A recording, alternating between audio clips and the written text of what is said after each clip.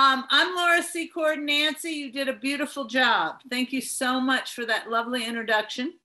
And um, I'm very excited because I just published my first book with a real publisher that I didn't self publish An Art, a Craft, a Mystery. And this is a book of, uh, this is a novel told in poems. Um, it is a historical novel, it's also a feminist novel. And it is the story of two of my ancestors who were accused of witchcraft in the 1600s along the Connecticut River. And I'm going to be talking to you about this book today and reading you a lot from it. So you'll be able to enjoy some of the poems. Um, I want to start by just telling you how I got and I even found out about these women because I didn't know about them. My husband is a genealogist. And one day I was working on another project and he came in the room where I was working and he said, Well, your great, great, great, great, great was found guilty of witchcraft in Connecticut. And then he showed me an article that was written about this. Now, if you can remember back to American Heritage Magazine, my family used to subscribe to it when I was a kid. Um, and there was an article in there in the probably like this um, 1960s. And the article told about my ancestor, Lydia Gilbert, who very little information is available on. There's really nothing written about her except the um, her accusation in her court case. That's it. And this is what was the quote, the historical quote from data um, about her. On November the 24th, 1654, they said about her, Lydia Gilbert, thou art here indicted for not having the fear of God, for thou hast given entertainment to the great enemy of God. His help hath killed Henry Stiles' body. Besides other witchcrafts, according to God's law, thou deservest death. That is the only documentation about Lydia Gilbert, who is my great, great, great, great aunt. Um, so from that, uh, writer John Demos had written a four or five page American Heritage article talking about what an evil woman this woman was. No information to prove that, but just the assumption that someone called a witch, a woman called a witch would have to be very evil, and a lot of made up stuff. So I felt like, you know, I got to write about this woman. But I also thought, ooh, the Puritans, mm-hmm. those perfect women in those perfect gray outfits with those perfect white hats and collars, serving people at Thanksgiving dinner, everybody doing the same thing, thinking the same thing, and obeying what they are told. And I really didn't want to write about it.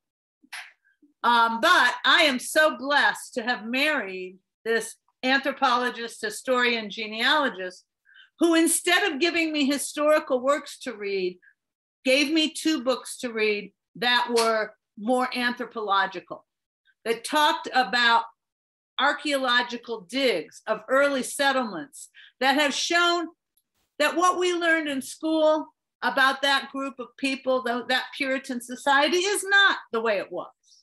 Now, I'm not much of a historian, so I hadn't studied any of this, but reading these anthropological texts, especially there was one called 1491 that told what this country was like before it was settled and what an organized and civilized and advanced culture the indigenous culture was that was completely wiped out through disease before the Connecticut River was even settled. So it gave me a different perspective. But I also knew that I had to learn about what women's lives were like because there really is nothing hardly documented about women. Women were not really even allowed to write at that time in England. After uh, Queen Elizabeth passed and James took over, women were discouraged from learning to read or write the Puritans, from what I understood, wanted women to read so they could read the religious text, but did not encourage, encourage women to learn to write. So there are very few writings by women from that early um, settlement of this country's time period. One is the poet Anne Bradstreet, which Nancy and I talked about the other day. Anne Bradstreet did write poetry that was very powerful, but she always made a little excuse at the end that she was really more religious than anything else. Even in her most erotic poem, she still comes back to, you know, God's going to take care of it. Um, and then there's a couple of um, memoirs, or not memoirs, journals written by women who had were kidnapped by um, some of the indigenous folks. And there's not too much else. So when you're trying to understand the lives of women at that time, it takes a historian that can dig deep into probate records and court records and things I was not familiar with doing. Um, but I read a wonderful book that really helped me a lot. It was written by Laurel Thatcher Ulrich, who is a historian at Harvard. She wrote the book, The Midwife's Tale, if you remember, probably about 20 years ago. That book, I think, got a Pulitzer. And uh, she had found a midwife's diary and had condensed it and turned it into a book. So I read her work, Good Wives, which tells about the lives of women at that time. And from that, there was a quote in that, and that began this book. It was the first poem that I wrote. And it turns out that it's the title poem of the book as well. And I'd like to share that with you. It's called An Art, a Craft, a Mystery. We kept the small alive from day to day, kept households warm, kept bread made. While men sat in the meeting house in ceaseless debate on sin, redemption, destiny, their grace came through women's works, watching fires and keeping coals ablaze. And their salvation through women's hands, gathering each day's yeasted scraps for tomorrow's meal, our sacred pact. Don't think these skills were simple. They were an art a craft, a mystery. Yet when the men took notice, they questioned diligence and named it witchery. So, not knowing much, that was the first thing I wrote. Um, and I, um, I'm going to talk a little bit about the research I did and also share with you from the beginnings of this book. So, I also discovered that I had a cousin named Kate or Catherine Gilbert Harrison, who um, was also accused of witchcraft. So I had these two characters. And I brought them, some of the things I, I have in the book are very true. They come from data. But there's a lot that have to come from imagination because there's not much out there but different from the John Demos version of these women as evil, mean, cruel harpies. I wanted to make them real women, real ordinary women who were living their lives and got caught up in accusations. But I had to get them to this country first. So I'm going to read you two poems that talk about why Lydia and Kate left England and came here. And the first poem is called Hasty Rose Ring. And like all their my poems, they're in the voice of one of the characters that's called persona poetry. Um, and this poem is in the voice of Lydia Gilbert. Hasty Rose Ring. One rosy morn in spring, I find my man home from the seas. We celebrate and sing our babies climb his lap. He kisses me. With the shilling from spinning, I buy us party treats, a special feast for daddy's sea dog yarns. The children screech and giggle, but he falls to coughing. I'm hopeful, wrapped in his arms. A stifled cough shaking, his body shivers. I hold a sick man at midnight.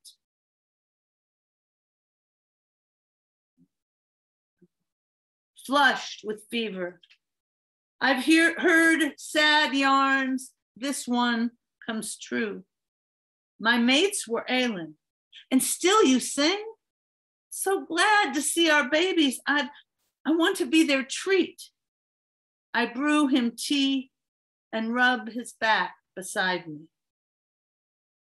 Dawn finds me worried. He spews his breakfast on me. I wake up Kate. Watch them. I go to cure his cough. I see a chemist syrup. I hope will treat his weakening, made from ginger to heal the man I've longed for through two springs.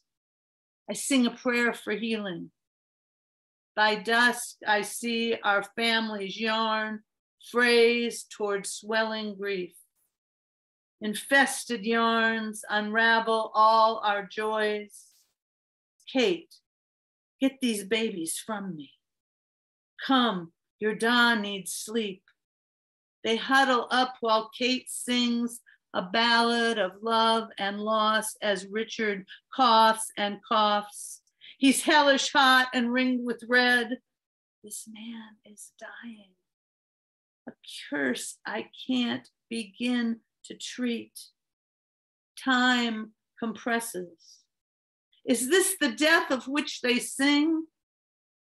I turn to see my wee ones failing. Can't treat them fast enough to save them. All three coughing. My Kate tries hard. We nurse them together. Our yarn runs to its hasty end where red rings glare at me.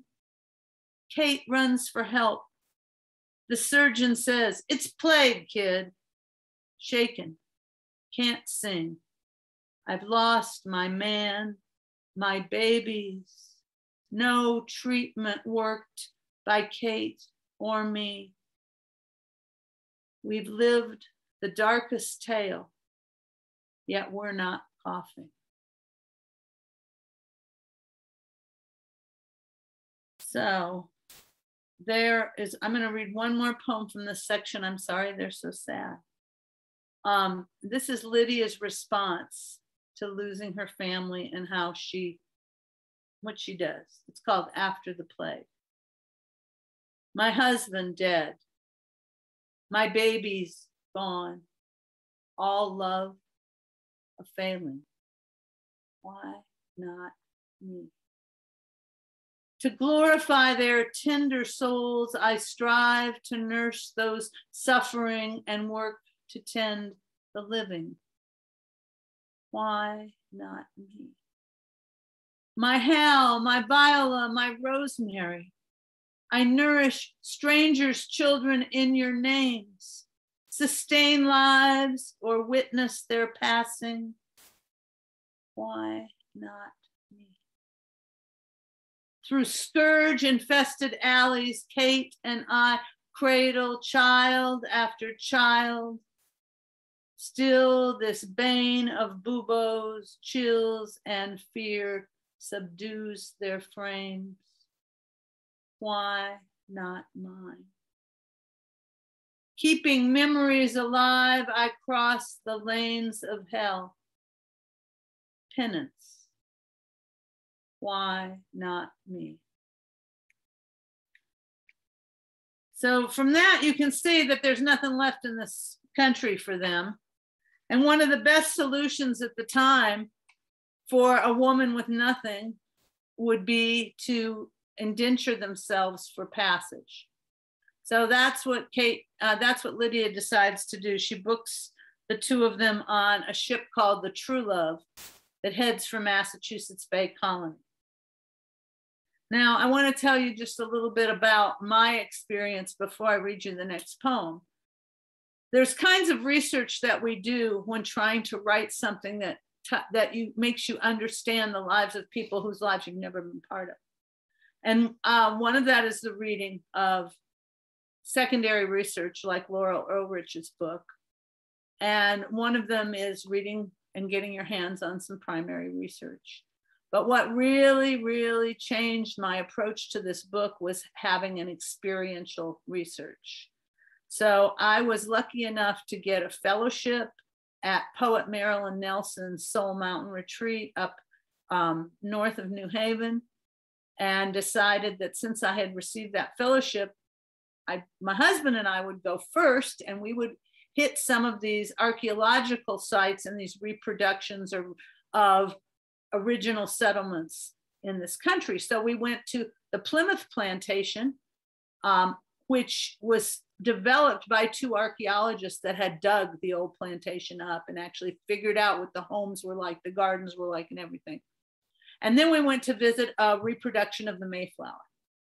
Now, these experiences were just tremendous to me and impacted this book so much because I could see what it was like. I could feel what it was like to be there, which I could not possibly imagine.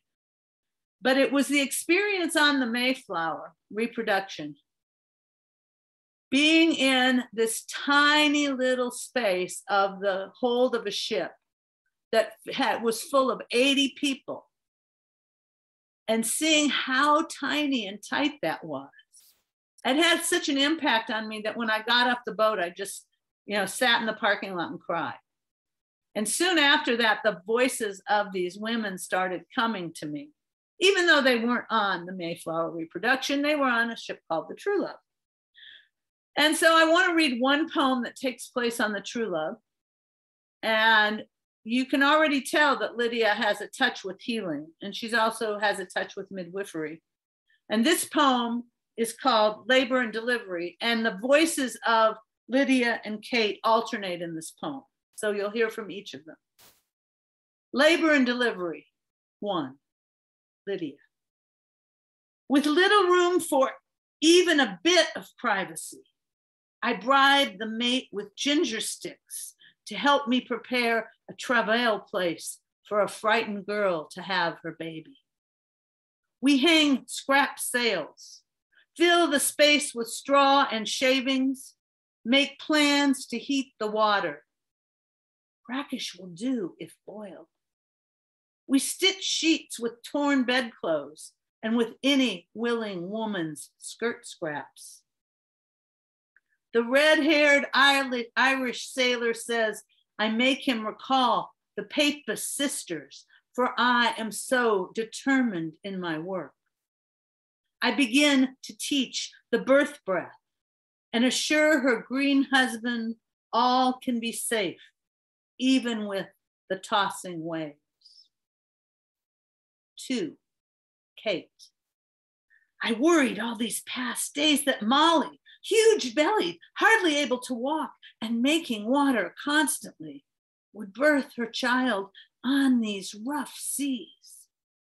Her pains began on wild water, all in darkness this past night. Aunt and I had just prepared a place in the storage of the ship's bow. Molly's eyes were full of dread, but Lydia, with a clear, direct voice, instructed well, helping her to birth without a tear. All the passengers are now amazed. They expected screams of pain, but only heard the deep breath, the fast breath, the dog's pant, as we told her, push, push now. Then a healthy son's lusty cries. He sucks teat mighty well. So, bringing Lydia and Kate to the colonies, I was doing some reading and I read a biography of Anne Hutchinson. Now, I'm not sure, I see some nods. So some of you may know of Anne Hutchinson. Anne Hutchinson was accused of heresy in the Massachusetts Bay Colony and um, banished from the colony. The reason she was a threat to the colonizers was that she was an incredible preacher. She was also a midwife and a healer, so she knew the community well. And she began to give sermons at her home to women of the colonies. But the sermons became popular with the men. And so there was some conflict in the community about whether or not it was correct for a woman to preach at all. And also, her um, philosophy was a little different than the, philo- than the prevalent philosophy in the Puritan community. I tried to read about some of those religious and spiritual spiritual conflicts. It was almost too much for me. Mm-hmm. I did not understand why we were arguing about these things. Um, but I'm a modern woman. So I, I one of my readers, my early readers, t- told me I needed a poem in this book that explained that because people would not understand. Because as it turns out, Lydia and Kate end up being indentured in the home of Anne Hutchinson. And from that, they get to learn from Anne about her approach to life. And, the, and Anne has a great impact on the characters. So, what I'm going to read to you now is a poem that gives the voices of the two governors of the Massachusetts Bay Colony. Um, Henry Vane, who was the more liberal governor, who was replaced and elected out, and the position was given to John Winthrop, who was much more conservative in his perspective. So I'm going to read you that poem because it kind of lays out the issues. And then I'm going to read a poem in the voice of Kate about Anne's um, trial and a voice in the in the uh, poem in the voice of Lydia. And I think one of the things these two poems do is it kind of shows you the different approaches these two characters are going to take to their own lives later on. The first poem is called The Hutchinson Debate. And I'm gonna have a sip of water because I can already tell I'm getting dry. The Hutchinson debate and the, the two voices you're going to hear are Henry Vane and John Winthrop. And for a moment, you will also hear the voice of Anne Hutchinson. The Hutchinson debate, Henry Vane versus John Winthrop. Come along.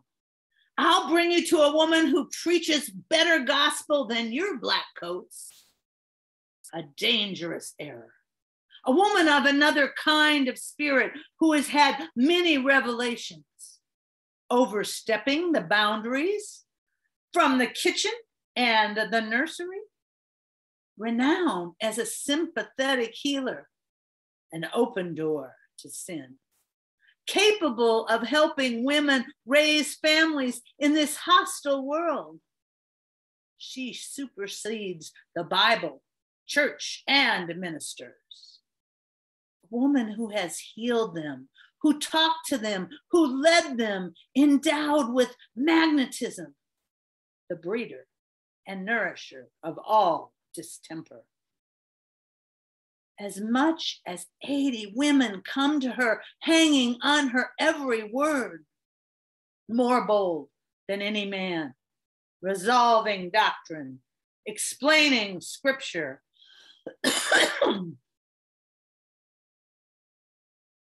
One with God's grace in their heart cannot go astray.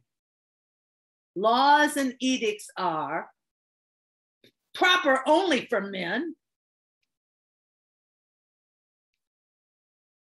For those laws and edicts are for those with a personal union with the Holy Ghost. This assertion of personal communion with God is rebellion. The free gift of God's grace needs strict discipline membership in the covenant of grace is not for the disorderly. Her knowledge comes from revelation with cunningly colored opinions. Serene enough in her faith, she will never doubt the state of her soul. It's time for this woman to be subdued once and for all.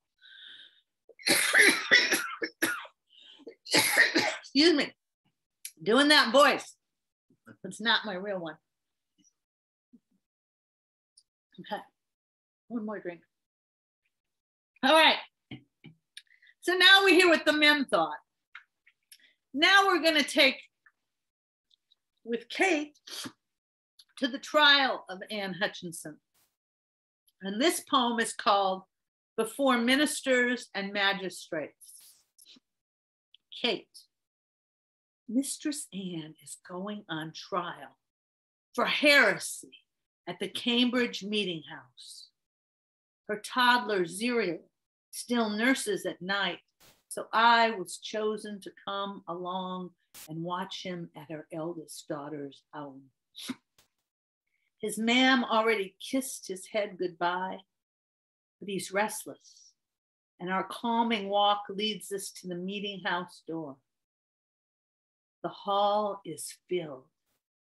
I stand beside the cracked daub round the window frame and peer inside. The magistrates and ministers are dressed in solemnity, yet the throng outside is noisy as a carnival. I hear the crier announce, Good wife, Anne Hutchinson. And then I see her, pale yet all her own self, walking head high, eyes direct into that empty space where she will stand before them. Zuriel clings in my arms. His heart races, but he stays quiet. Then all those that love her, the women she has nursed and midwifed, women and men enraptured by her sermons at her weekly conventicles, begin to shout and cheer I want to know her fearlessness. Zuriel trembles as if to whimper. I stroke his arm, mutter kisses to his face. She stands alone while those that judge her are seated with warm coals at their feet. What have I said or done? She asks this to our governor once and once again. What law do I transgress? I feel Zuriel screaming, scream, excuse me, I feel Zuriel squirming, and I do not want mistress to notice. So I take the baby out before the sea and we twirl while his mother's ordeal spins before us. Waves, homes, hills, forest, skies, and her billowing courage. As Zuriel squeals with delight.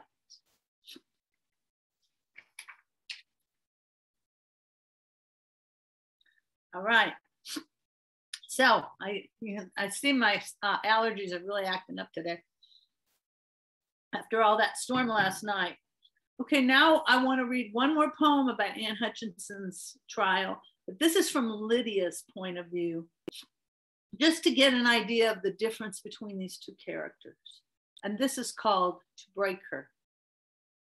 Mistress Anne is in bondage, under house arrest at the home of a minister.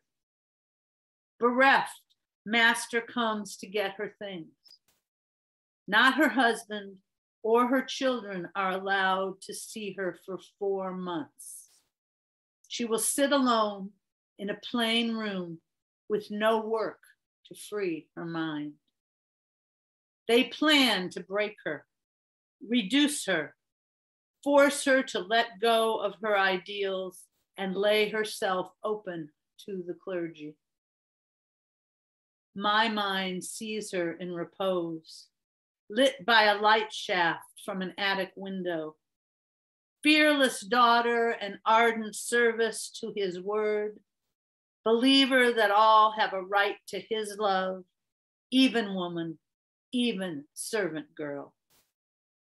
I see her floating in a boat of grace, confident, innocent, naked, afloat on her truths, doubtless, even in her suffering and isolation, willing to endure any punishment to confirm her faith. All right, so that now we know Anne Hutchinson's going to be banished. And as the story goes, she sets um, both Kate and Lydia free of their indenturement, but says, You got to get wherever you're going on your own. I got nothing else to give. And so our two heroines take off by foot in winter across from Massachusetts Bay to the Connecticut River Valley.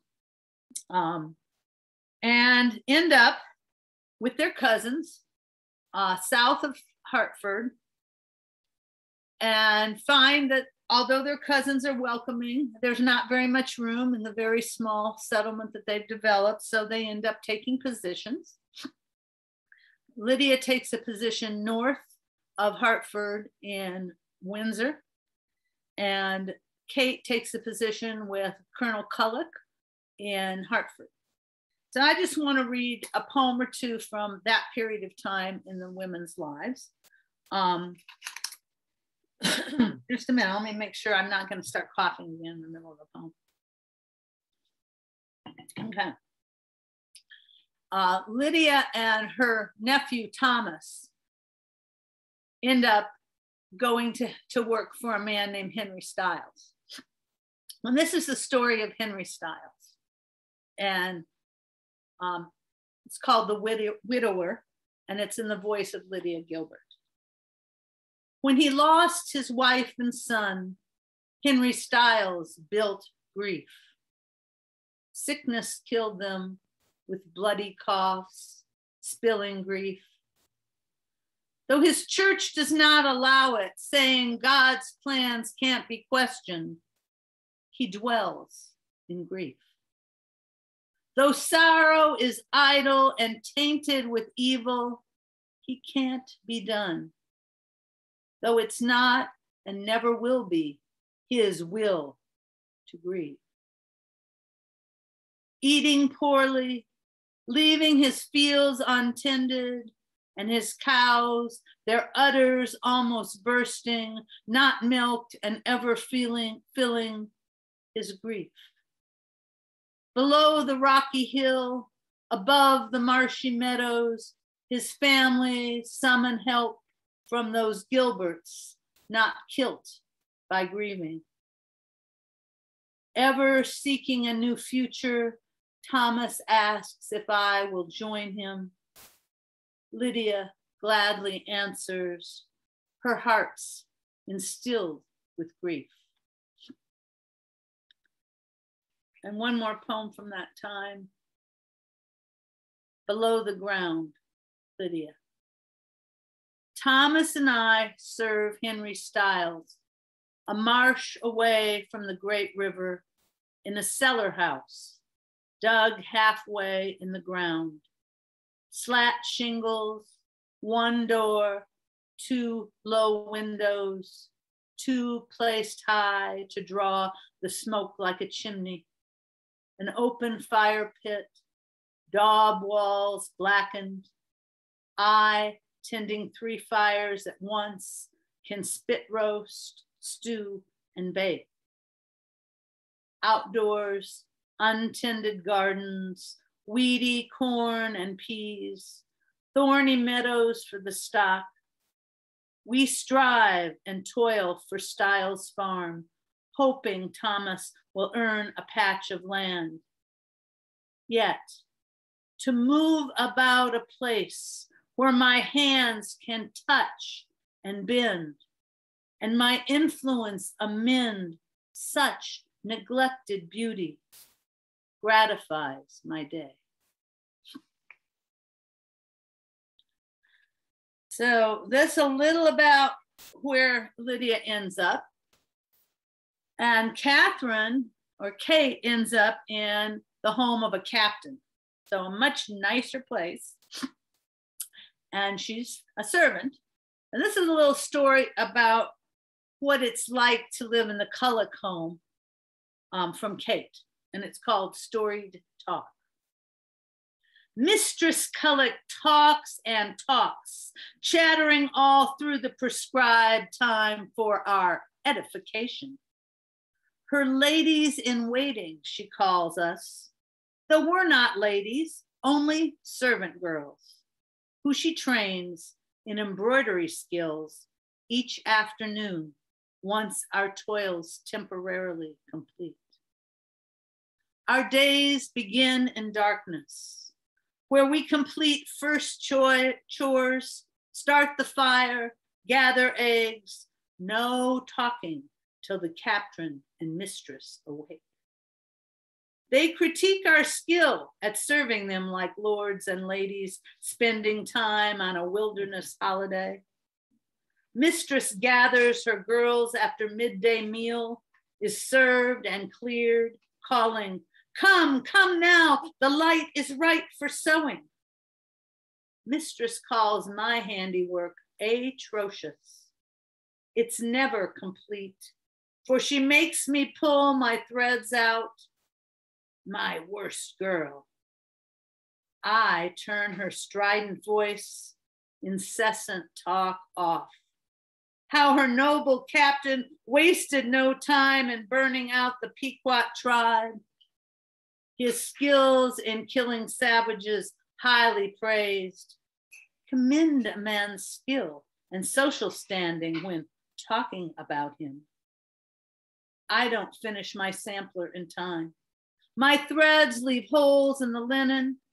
I'll never compete. The sunlight fades. I hear the call, cows call for milking, the pigs for slop. Just a low girl once again. After dark, I became another girl who pretends among her peers to have a skill with fortune telling. Our palates spread we talk.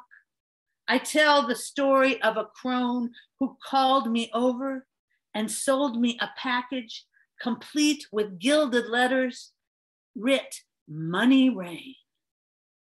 Stuffed with time, I thought it predicted prosperous times, but I've remained a lowly serving girl.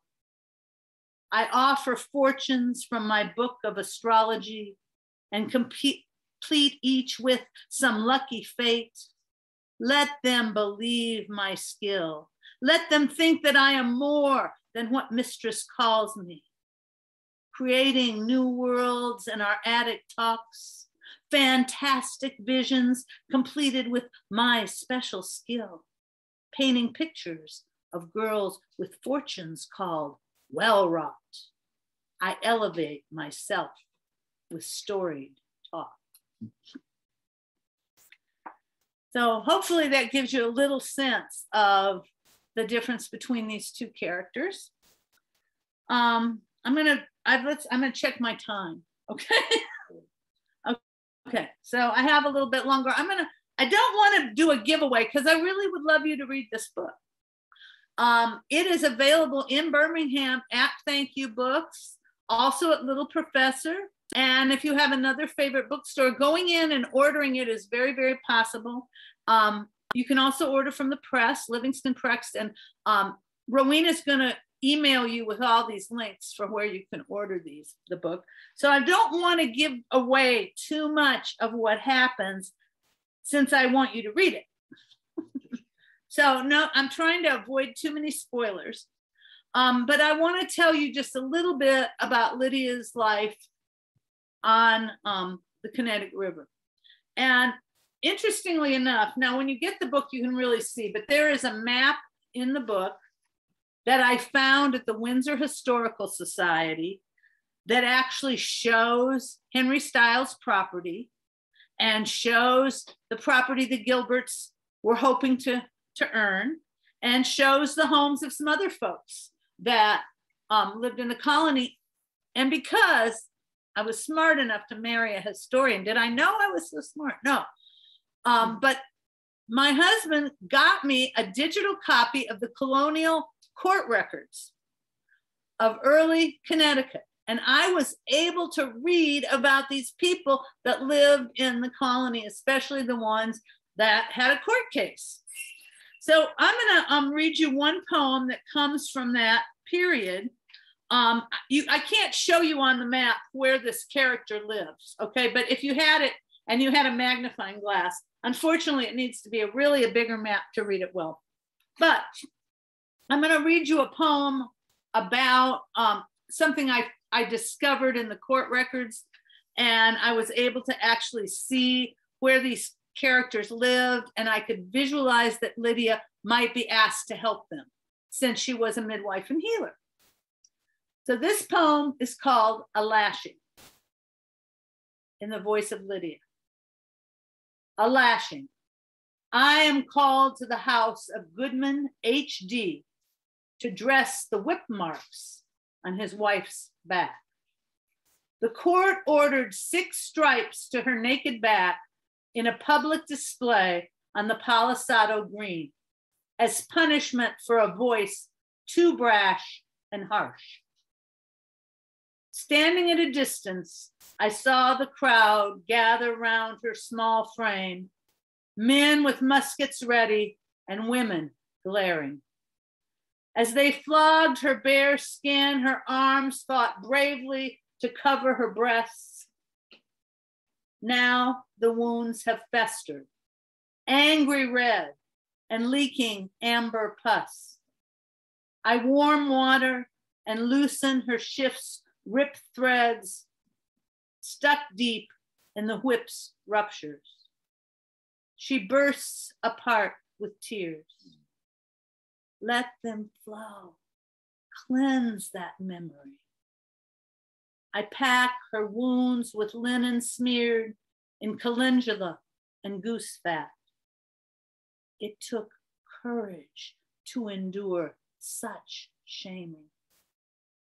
Oh, the same true voice that gives a man great glory brings the pain and sorrow we women suffer for.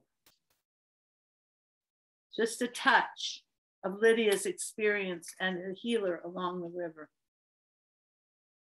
Um, okay, now I also wanted to read a poem because I, you know, I don't have too many other characters' voices in this work besides Lydia and Kate. But I felt like I had to give Henry Stiles a voice. And part of that reason is because of what I read about the founding of these early colonies along the Connecticut River, many of which were um, left by the indigenous folks who were killed off by a huge hepatitis A viral plague um, that the traders brought. These people who did not have the immune system to fight it. And this is what was found when the settlers arrived were homes and farms and food stores and all kinds of things that they would have called the God's providence. But it was actually stuff that had work that had been done by a settled culture that had been there long before, uh, before the colonizers. And so I'd like to read this little piece to you. It's called Early Windsor, and it's in the voice of Henry Stiles. And it's in a journal form, okay? So it'll sound kind of journalistic. Part one 1634 settlement. 10 May. Francis, this is Henry's brother, agreed to act as emissary for Lord Saltonstall Come dawn, we sail to the colonies to claim the land grant. 16 October, we disembark after seas and a great river. My brother Francis tells the settlers to call him Lord. 18 October, given dead Indian land. A village passed away, victims of a trader's plague the jaundice dropsy. 20 October, our providence, the native stores, grain, beans, squash, dried fish, jerky, hides, and pottery, their fire pits and tilled fields. 31 October. Last night, a screaming wind, tortured souls and children's ghostly cries. Unsettling. Part two, 1636, trade. 2 September, floods and failed crops. Our native stores are spent. 5 November, cursed, we are starving. 12 November, traded my musket to an Indian for ground corn and a share of hunted game. 15 November, my brother feeds on my venison and fritters with red tree syrup. I tell him of my barter. 24 November, Francis complains to the court about my bargain. 25 November, a day shackled in the stocks. 18 February, the Indian keeps leaving waterfowl on my door. Francis feeds his family the meat of my disgrace.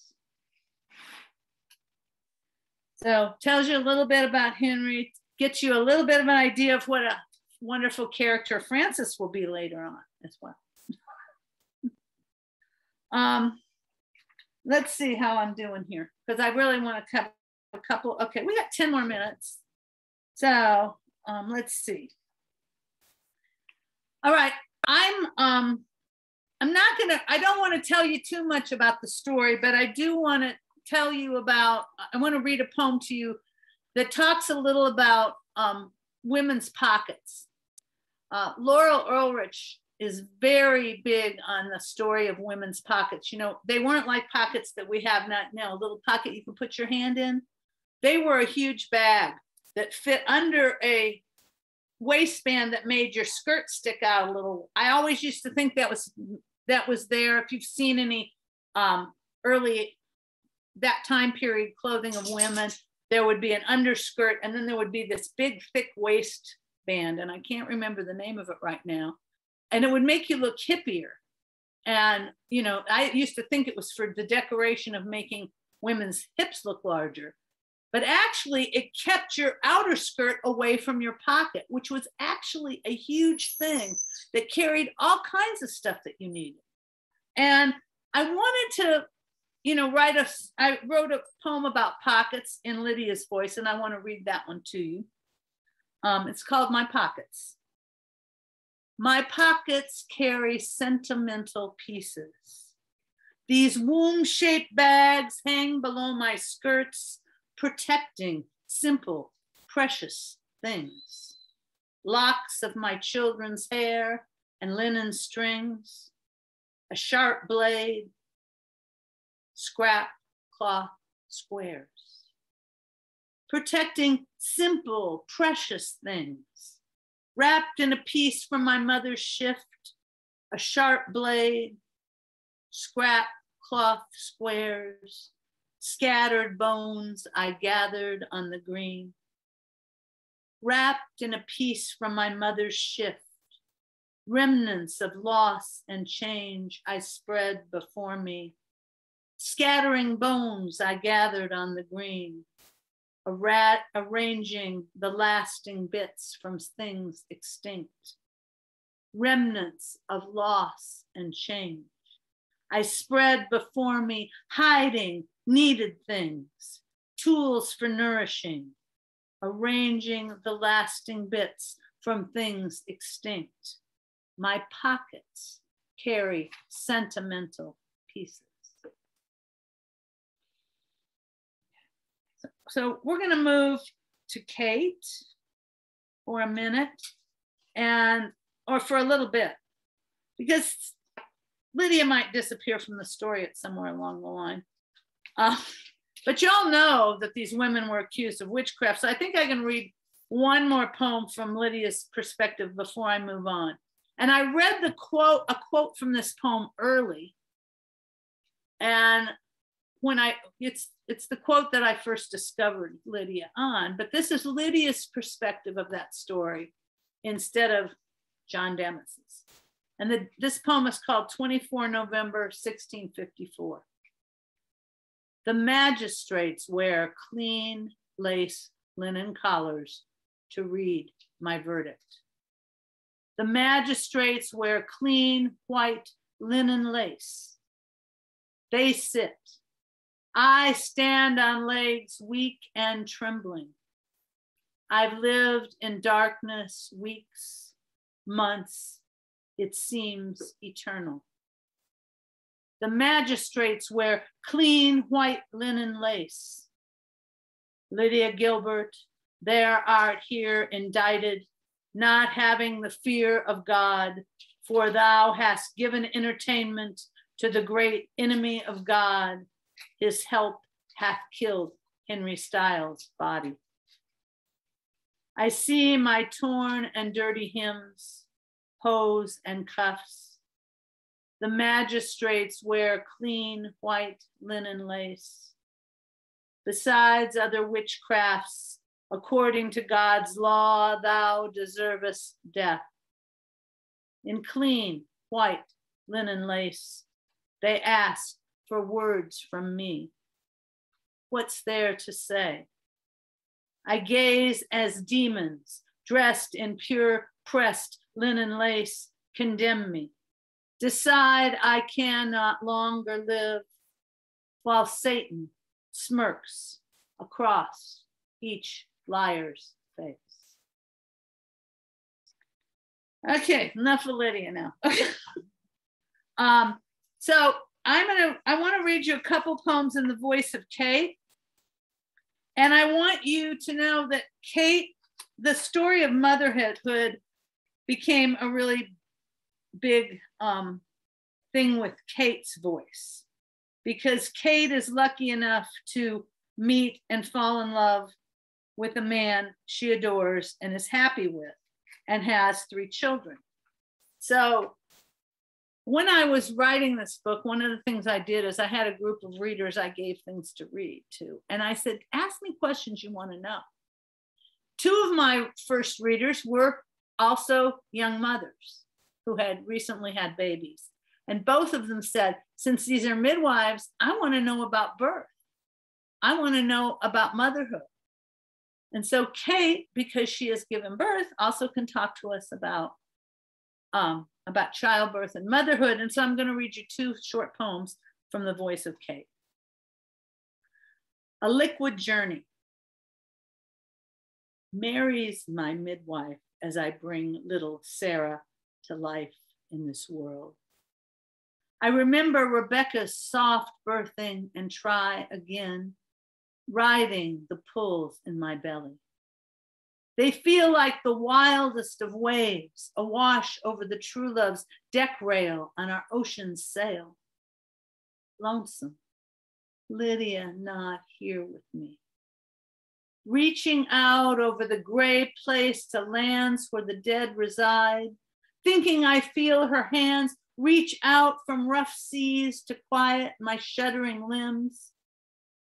I'm no stranger to the mysteries labor can bring in the minutes that come between. First, I keep moving and making things orderly, smooth, and neat around me. then to our bed I go, follow these watery dreams. I am plunging low, glimpsing the treasures there, swimming beside this child gliding through a passageway leading to grottos where light shines on chests full of sunken gems and gold bounties. Mindful, my journey contains all the power of opening pains and the knowledge of clamping pulls. Mary calls. It's pushing time, bear on down, lift your arms, embrace this red faced, sweetly wiggling girl. And a dream from Kate as a mother called Verdant. With two daughters now, one toddling, one in arms, and both at my breasts, I dreamed myself as a Native woman, in hide skirt with naked chest. I dreamed each girl was nursing a fountain of milk flowing into a wa- flowing onto the earth from my nipples. These became a rivulet and then a creek, and finally they flowed into a wide river. I stood in a verdant pasture where many creatures watched us fat rabbits, flying geese, dun mares. Even white spotted leopards basked in observation while my little, little ones lifted their voices to sing. Okay, well, you're saved from more of the story because we're it's 1059. So, so I really appreciate you listening to me all this time, this whole long hour. I hope you've enjoyed it and I'm really open for questions or comments. Thank you. That was a beautiful, beautiful presentation. Thank you. Thank you, Lynn. I hope I can hear you again. Where are you going to be next? Well, um, I haven't got, I've got something lined up. I'm having a book party on May 20th. And I'm also, it is, I'm calling it a celebration of appreciation because I'm also inviting uh, some of the participants that have been in workshops or listened to my poem and given me advice to participate and read as well. So it's going to be at East Village Arts um, on First Avenue North and East Lake on May 20th, which is, I mean, May 19th. It's a Thursday night. I changed it to a Thursday because too many people had graduations on Friday night. Uh, and it's going to be a free event. We're going to have food and music, and um, it should be a lovely time. It's a big space, so it feels pretty safe because it's big and airy.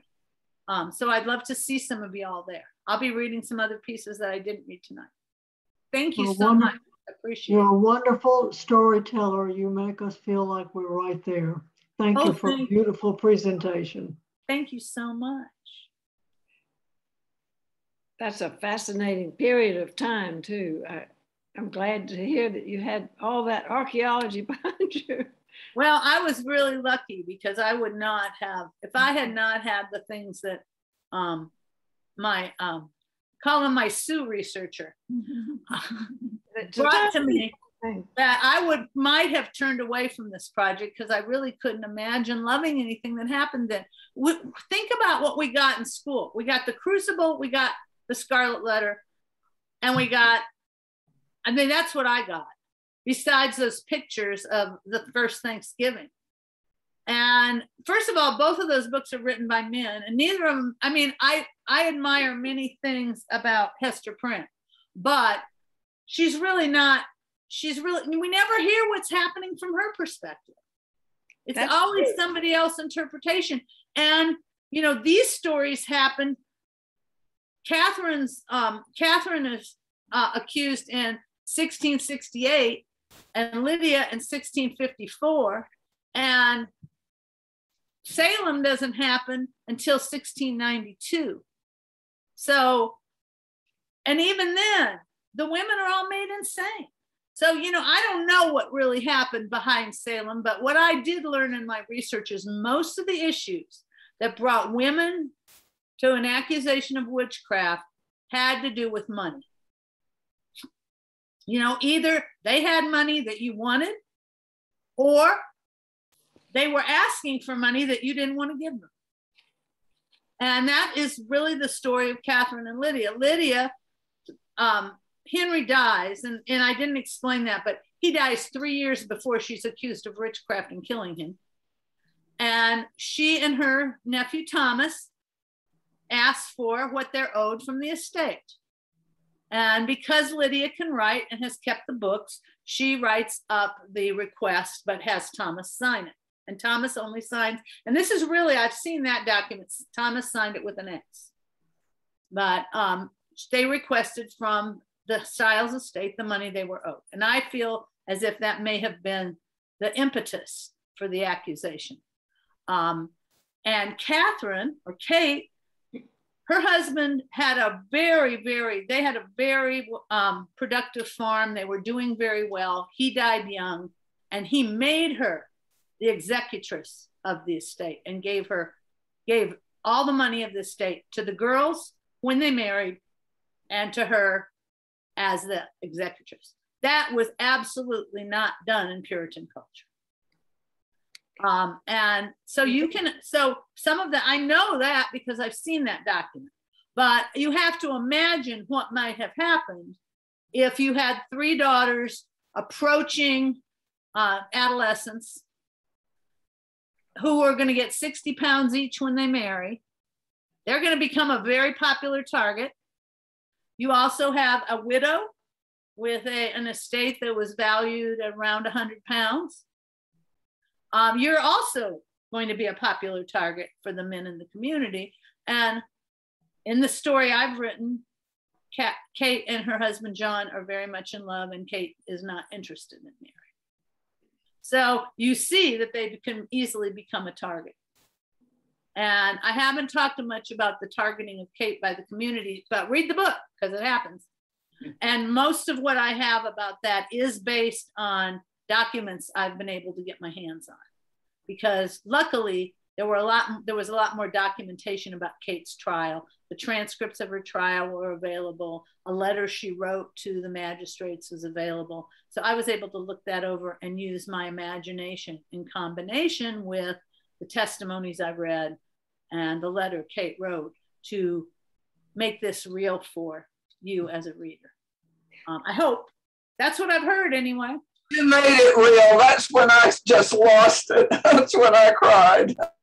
So, you know, if I made Nancy Witt cry, I'm pretty proud of myself. but I should I should sell the book with a box of Kleenex or a nice cloth handkerchief. Well, uh, this is a dumb question. Yes. What, what about the mold on the bread? Where does that fit in? Um, the mold on the bread. Well, there's something about moldy bread when they're crossing on the uh, ship, because um, of course when they're on a when you're on a boat crossing the sea for four months, the bread's going to get moldy. And I, I I didn't think I read something about moldy bread, but there is a poem where I where they I talk about um, the birds turning away from the moldy bread that they try to offer on the ship. But you know, once you've been really, I was just floored by what it was like, must have been like to be in that hold of a ship for four months with around 80 people in a room smaller than my living room. How did people survive? You know, I, somehow that really hit me deeply and causing me to have a rise up of emotion. And then voices. And then suddenly I started, I went to my retreat after that and I was there for a week and I was writing 10 poems a day. Um, and during that time, I was really lucky because I was at Mar- with Marilyn Nelson. I don't know if you're familiar with her. She writes historical poetry. Um, and she, the first time I really read historical poetry written in the voice of the character was in her book, Carver, A Life in Poems where she tells the life of George Washington Carver. Now, she doesn't do it in his voice because she felt like his voice was out there enough, but she writes it in the voices of all the different people that he met through his life. And when I saw that, I thought, you know, this is the kind of writing I really want to do. And I heard she had this retreat, so I applied to go there. And she usually had lots of poets there besides herself. It was a, I think there were six bedrooms there at the retreat.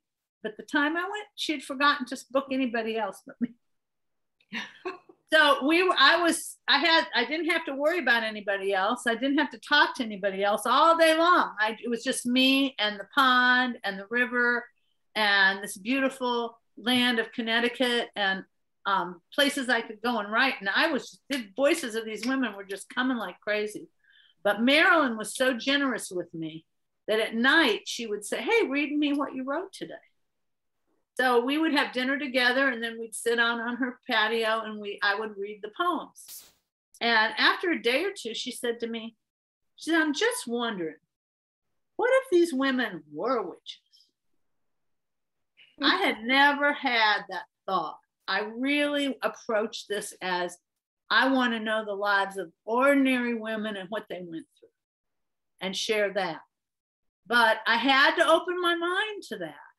And so, although um, I don't want to give too much away, but there are moments when a um, I would not call it witchiness. I would call it like these characters' intuitive genius, their um, deep empathy, and their healing capacity can come to the forefront, and you can say, "Hmm, that seems a little witchy." Um, but I, I'm of a belief that you know we may all. I mean, these are my ancestors. I know I carry some of those qualities. Um, but I also know that right now, you know, we have this. This is something that I kind of talk about a lot too. Is we have these two media images of witches that popular culture has given. There's the one that John Demos used in 19 in the 1960s when he wrote about Lydia of they must be evil, mean, terrible, awful people. Okay. Uh, with warty noses and loud voices and ugly hair and all this stuff. Okay. Or the more current popularization of witches has been in all these shows. I mean, you all, we I had a daughter who watched Charmed and um, I can't remember some of the other ones, Practical Magic and all those shows we watched a million times together. And in those is there's always somebody who's got a power but hasn't really accepted it. And then they accept it. And then when the evil comes they can win against evil because of their magic powers. But the real that i mean that's you know you think of harry potter think of all these things that almost always happens. The witch wins because she's powerful well you know there must be something else like the ordinary woman who has an instinct or has compassion or has an ability to help others who is accused unfairly, but actually doesn't have that much power that they can overcome evil and a whole community turning against them. It's, you know, they don't have that kind of power. And and because of that, I mean, because I mean, I don't know if it's because of that, but I look at what's going on now in this world where people are neighbors are turning against neighbors in Texas or in Florida because of new laws, where teachers are being attacked in communities by what they for what they teach, when people are being watched in the classroom, as at UAB now, every every lecture is taped. Um, and you don't know where that's going to go. Is that coming from the state? And so we even even though we think we're free of this kind of thinking now in our modern age, it is just rising back up again trying to co- controls people's thinking and people's behavior. So it's actually much more real than I even dreamed it was going to be at this point in time. I mean, I've spent, I started this book uh, 14 years ago and worked on it for not all the time. I worked on it for about two or three years. I took off and went to went and got my master's. I came back and worked on it, and then waited for two years for it to get published not really understanding, even as I was working on it, how all these issues were going to rise back up right now. And community members turning against community members is being encouraged by parts of the government. And there's a lot of scapegoating. I think the scapegoating was prevalent back then too. Yeah, I mean, it was. And I think that many people, I mean, you think of going to a completely wild world. Most of these folks never lived in a, a frontier. And how you could easily think everything out there is evil and satanic. Or you could be like Lydia and love it because it's new and beautiful and not full of plague and funeral pyres. So not everyone had to think the way they were directed to think. But if you didn't think that way, you let you let yourself open for condemnation and scapegoating from the community. It can happen.